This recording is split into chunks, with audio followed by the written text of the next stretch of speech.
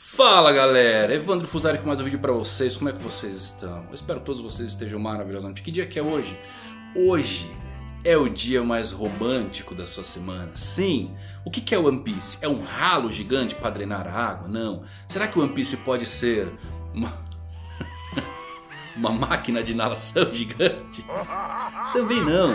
One Piece são os casais que fazemos na jornada. E esse é o vídeo mais romântico que você vai ver em todo o YouTube. Assistindo esse vídeo eu tenho certeza que você vai sair daqui para onde você vai olhar você vai ver top 10 casais. Então esse é o vídeo que prepara você para o mundo do romance. Sim, One Piece são os romances que fazemos pelo caminho. é... E ainda é canonizado por São Canelas. Quer participar desse que é o vídeo mais romântico da sua semana? Um Love Songs praticamente? Os links estão aqui na descrição, só clicar, deixar sua perguntinha. Melhor que isso é o que? Votar no Mangão, deixa um votinho pro Mangão no Prêmio Best aí. Tô no top 3 da prévia, se eu conseguir ficar em primeiro lugar até quarta que vem, eu vou passar pra final. Olha que coisa maravilhosa. Clicou no link, se logou, votou, não leva 2 segundos.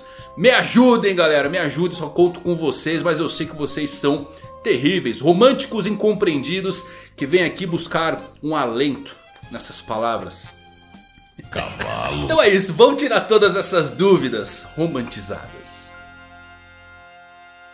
Começar com a pergunta aqui do Jesse Lourenço. Tem muitas pistas que mostram que Kaido queria se tornar Joy Boy e consequentemente conhecer a lenda do personagem. Mas como se tornar Joy Boy sem a fruta de Nika? Vimos Kaido tentando entender os poderes da fruta de Luffy. Então vejo duas possibilidades. Kaido não conhece toda a lenda de Joy Boy. Ou a fruta de Nika não é necessário para se tornar Joy Boy. O que, que você acha? Jesse, eu acho que é uma combinação das duas coisas. Essa teoria do Kaido tentar se tornar Joy Boy, ela era muito mais forte até termos o flashback dele com o King. Descobrimos que era o King que acreditava que ele poderia ser Joy Boy.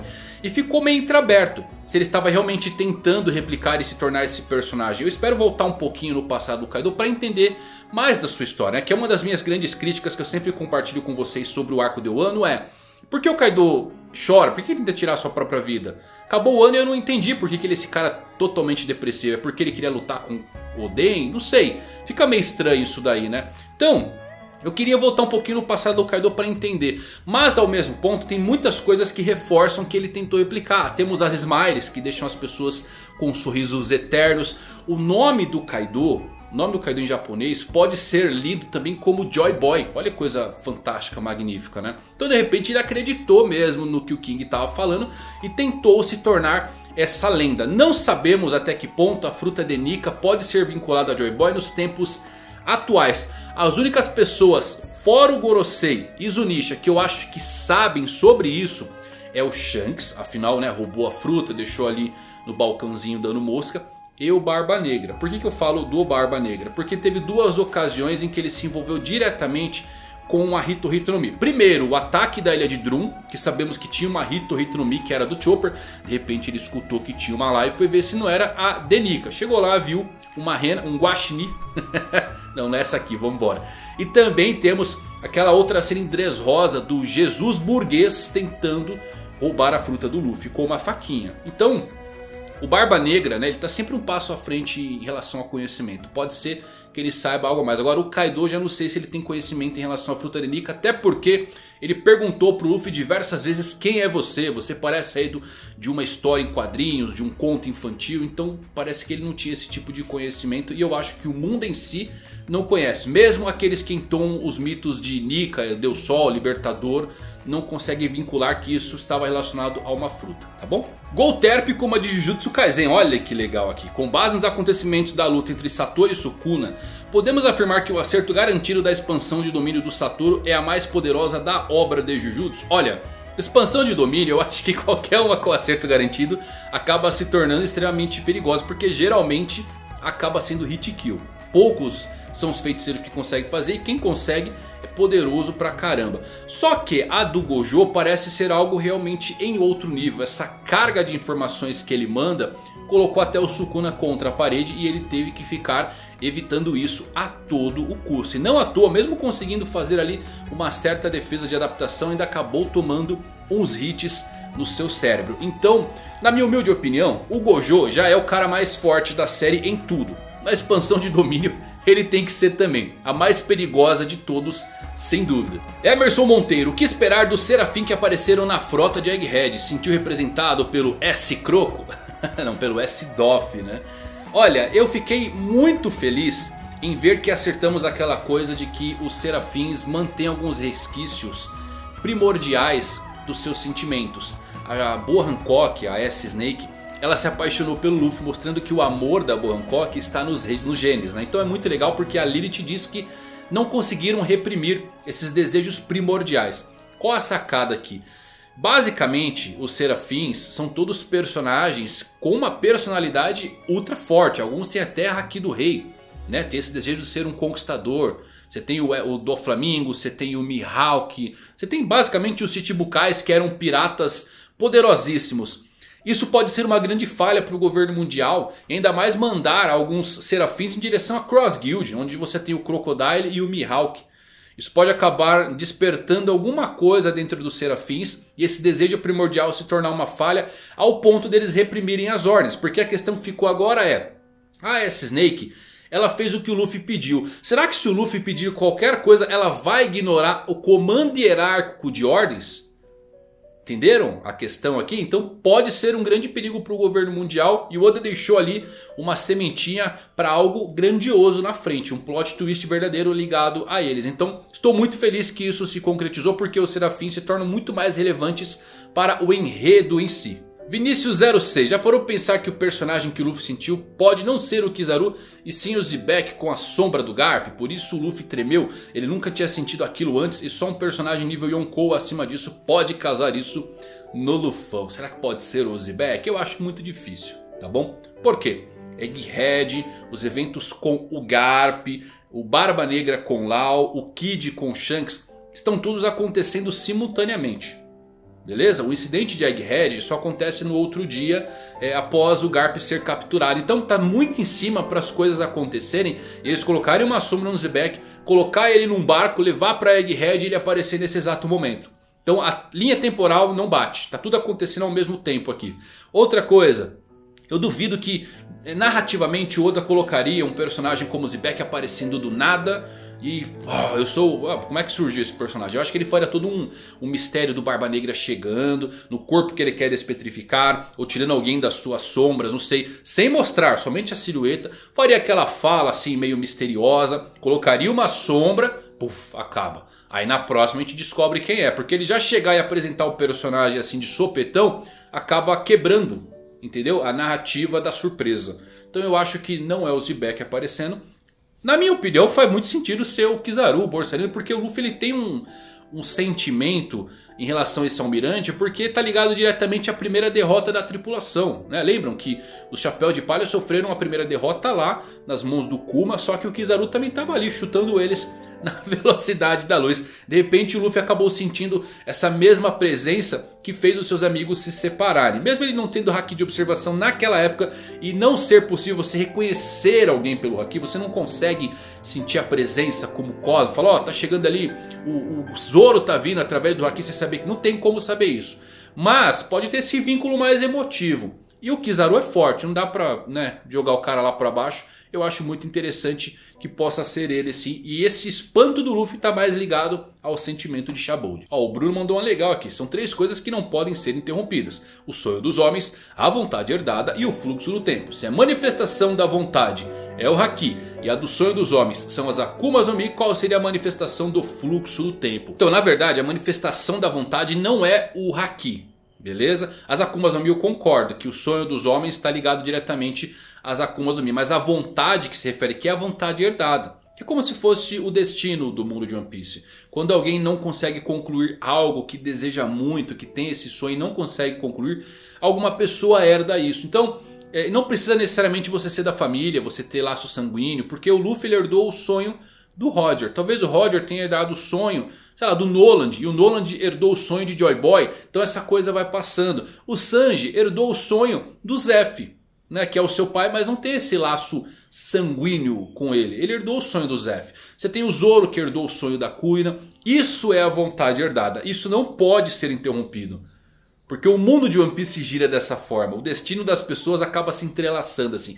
Eu acho uma das formas mais bonitas é, criativas de se colocar destino em uma série. Porque a mensagem por trás disso ela é poderosa, não é verdade? Então temos os sonhos, temos a vontade herdada e o fluxo do tempo. O que é? Que não se pode interromper a passagem do tempo.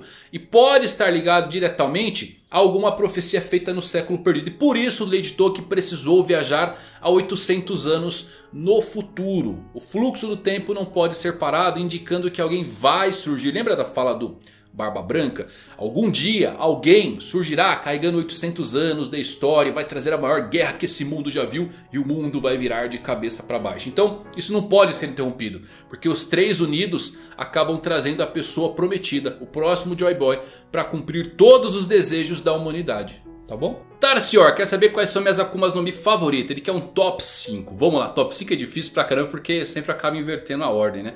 Mas eu vou começar aqui com algumas frutas que eu acho magníficas, fantásticas. A, minha primeira que eu mais gosto, eu sei, agora as outras podem variar a posição.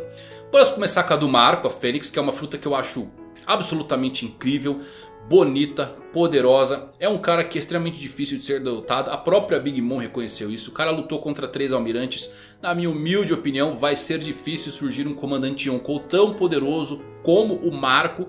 Por conta dessa sua Akuma no Mi pra lá de incrível. Outra fruta que eu acho muito legal, que não dá pra colocar fora, é a do Luffy com essa mudança de Hito Hito no Mi para Nika. Antes a fruta da borracha era uma fruta engraçada, mas agora que passou para um tom a mais poder da liberdade restrita de transformar sua borracha da forma que ele quiser, dos jeitos mais cômicos possíveis. Não tem como não deixar essa fruta dentro de um top 5 das frutas mais incríveis de toda a série. Já uma outra fruta que eu acho simplesmente incrível, fantástica, eu sempre elogio quando aparece é a do Lau. Meus amigos, não tem como né? O cara usa o Room e quando ele usa Shambles e quando usa todas as técnicas... É uma fruta que você brilha os olhos com todas as possibilidades. Ele pode replicar poderes de outras frutas. É uma fruta realmente que... Não sei, não sei como é que o Lau perde.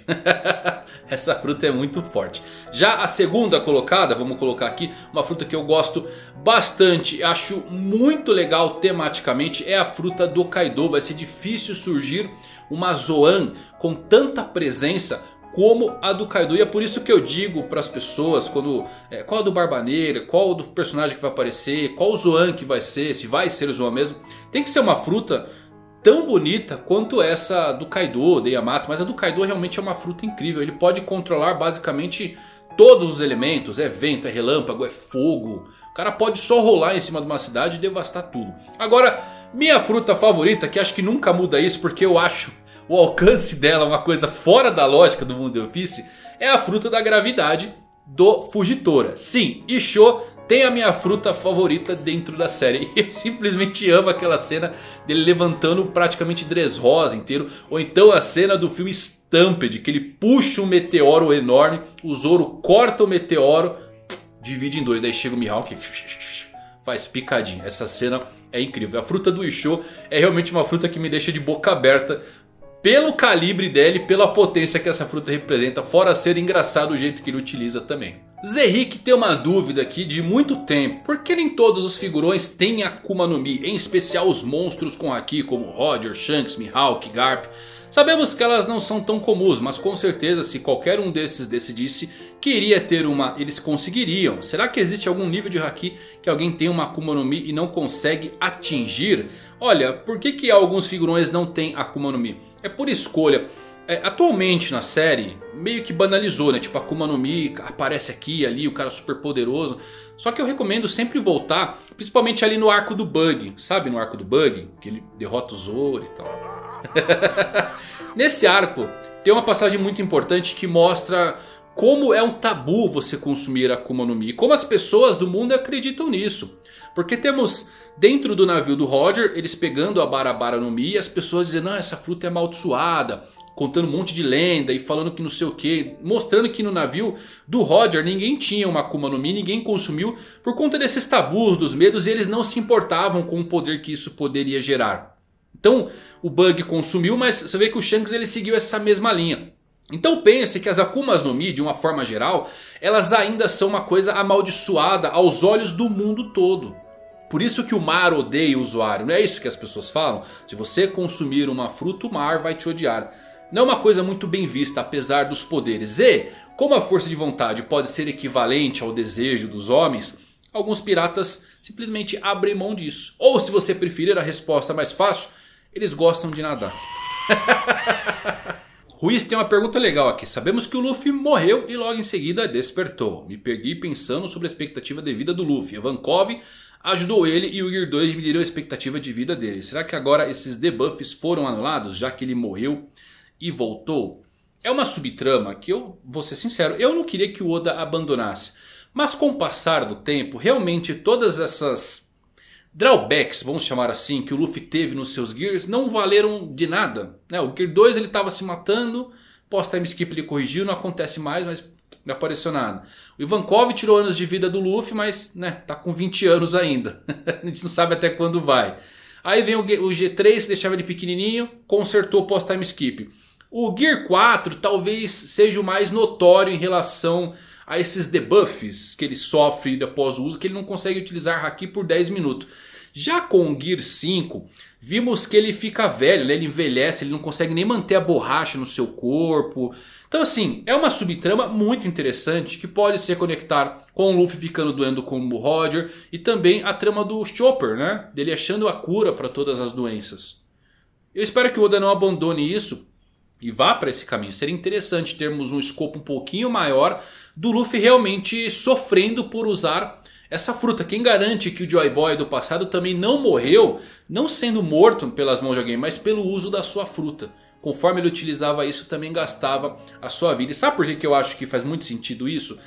Porque o Oda ele foi assistente de Samurai X, Rurouni Kenshin. E quem viu o final de Rurouni Kenshin sabe o que acontece com Kenshin. Ele começa a definhar por conta do uso das suas habilidades, a sua técnica, o Hitei Mitsurugi. Ele começa a definhar lentamente o seu corpo, devido né, a todo o poder.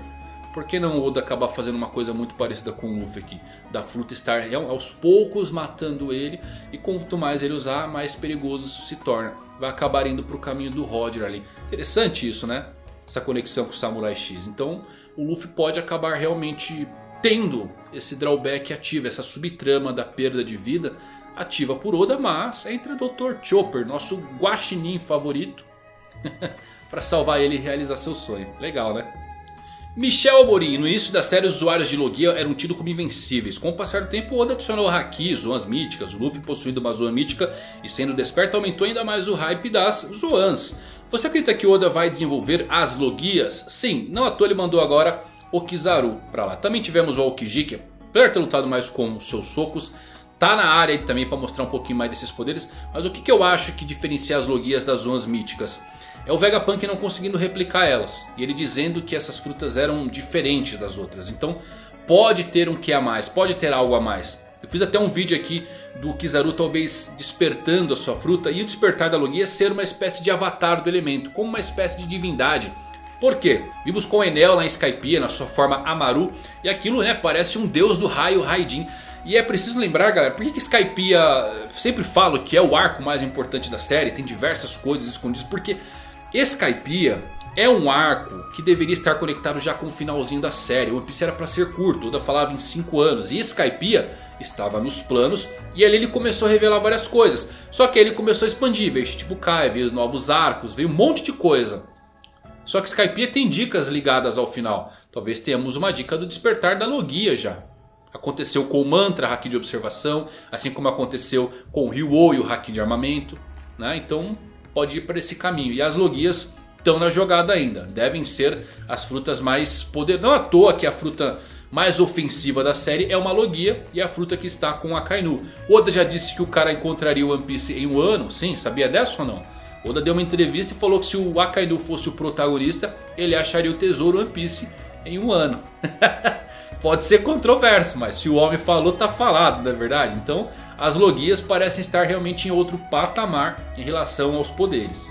A Jennifer Silva Rodrigues perguntou se tem alguma chance de vermos a Uta novamente na série. Ô Jennifer, a Uta, infelizmente ela morreu no filme Red. E trazer ela agora para a série viva soaria um pouquinho estranho né? ela já foi canonizada. O Oda nem quis desenhar muito ela. Você vê que ele fez só uma silhuetinha num capítulo para canonizar, para falar que a personagem estava na série. Mas eu não acho que ela cabe nesse momento da trama. Além do que ela havia falecido também no final de One Piece Film Red. E colocar a personagem viva aqui agora quebraria todo o enredo do filme. Que apesar de não ser canônico, ainda estragaria uma experiência para quem for assistir. Bom, já dei spoiler que ela morreu, né? Já estraguei a experiência de quem E é isso, bastante pergunta respondida. Espero que vocês tenham aprendido tudo sobre a arte da sedução desse vídeo. Você vai sair daqui com toda certeza conquistando seu top 1 casal. Se gostou desse vídeo, deixa um like, deixa sua pergunta aqui também galera. E não esquece de votar no Mangão aí pro prêmio IBEST. Dê essa força, tá bom? Até a próxima, valeu por assistir. Fui.